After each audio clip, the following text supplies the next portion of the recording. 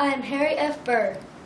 I was born June 10, 1887, in Martinsburg, West Virginia. My parents moved to Virginia the same year. I lived in the 19th century from 1887 to 1966. One fact you may not know about me is I was also a descendant of one of the first families of Virginia, which included William Byrd II and Pocahontas. I quit school when I was 15 years old to take over my father's failing newspaper. I was able to turn the business around using my pay as you go system. I convinced a paper company to bring daily shipments of paper for immediate payment.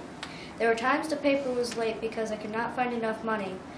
But when you have to hunt for pennies the way I did, you get to know how many cents there really are in a dollar.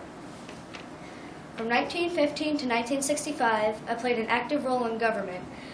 I held the position of state senator, fuel administrator, governor, and U.S. senator. I am famously known for the term massive resistance.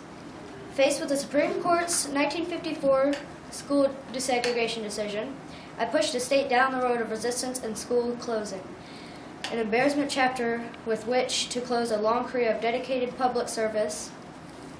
Massive resistance was designed to maintain segregated schools and perpetrate the power of the machine that was being threatened by new political oppositions.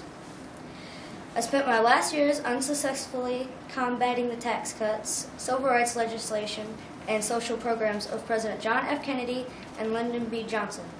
I retired from the Senate in November 1965.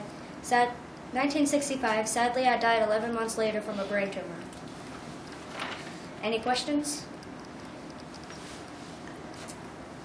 How did it? Were you proud of yourself um, when you decided that you didn't want that you didn't want integrated schools?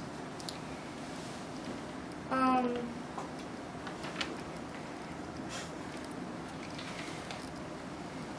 um, I wanted to keep things the way they are and not change them.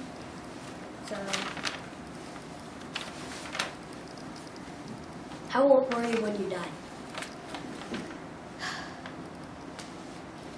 Well, I was born in 1887 and I died in 1966. Do the math. Thank you.